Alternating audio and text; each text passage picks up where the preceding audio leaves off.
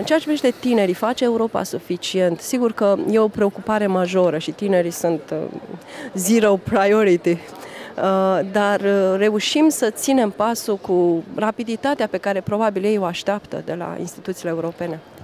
De multe ori cred că suntem ușor ipocriți. Uh, suntem ușor ipocriți pentru că vorbim de locuri de muncă pentru tineret, vorbim despre educația ca cel mai important uh, element de infrastructură, dacă vreți, pentru, pentru viitorul tineretului.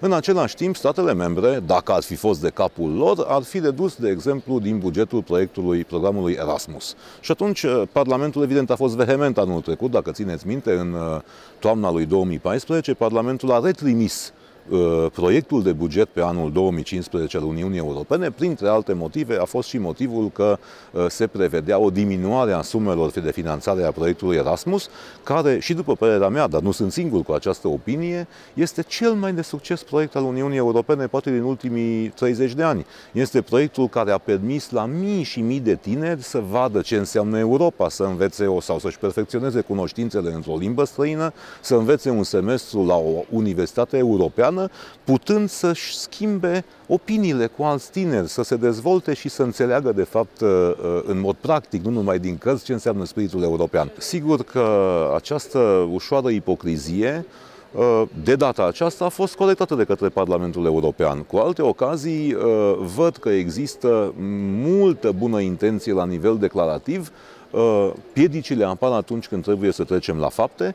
Piedicile, multe dintre ele depind de statele membre. În foarte multe state membre există o rigiditate a, a, a pieței muncii, provenită din legi nemai modificate de zeci și zeci de ani de zile, care asigură privilegii anumitor generații față de noua generație. Uh, uh, uh, problemele pot să provină, iată, dintr-o asemenea nedreptate, cum este chestiunea cu Schengen pentru România și Bulgaria. Arhicunoscută, nu cred că trebuie să repet, dar este o nedreptate. Este aplicarea unor criterii suplimentare vis-a-vis de o situație existentă. Tinerii cu atât mai puțin pot să înțeleagă aceste lucruri, tinerii trebuie să primească răspunsuri astăzi.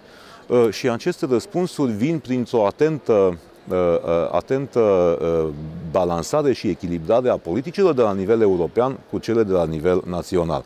Există multe politici și posibilități europene pe care România încă nu le folosește. Spre exemplu, acea binecunoscută chestiune a programului Garanția pentru Tineret, care a demarat în România, dar a demarat greoi. Nimeni nu știe despre ce este vorba și nimeni nu folosește ca atare sau prea puțin folosesc aceste posibilități.